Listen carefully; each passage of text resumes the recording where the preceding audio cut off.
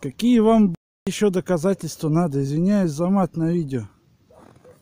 Что вам надо еще-то? Блин, я вот... Ну... Слов нету, короче, выразить это все. Жители села Кома буквально ходят по воде. Связано это не с религией, а с беспомощностью властей против стихии.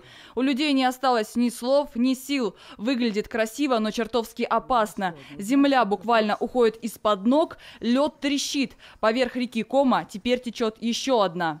Но вода бежит полным ходом. Она тает, да, или что с ней происходит? Да где-то этого прорвало, видать, и она это, поверх этого льда бежит.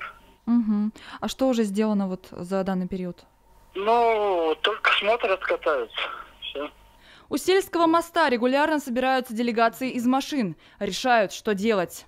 Делегация, которая стояла возле моста, она поехала вверх по реке, когда надо надо ехать вниз и внизу смотреть, что там ей мешает, блин, вытечь нафиг. Вода собирается здесь вся, здесь она собирается.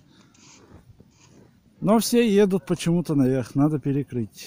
Эксперты не согласны. При оценке сложившейся обстановки и обследовании русла реки межведомственная группа приняла обратное решение.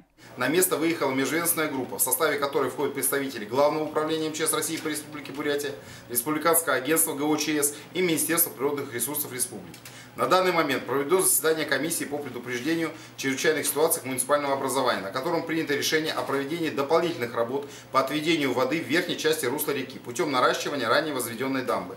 В границах населенного пункта введен режим повышенной готовности, а также в случае ухудшения ситуации подготовлен пункт временного размещения, созданный на базе местной школы.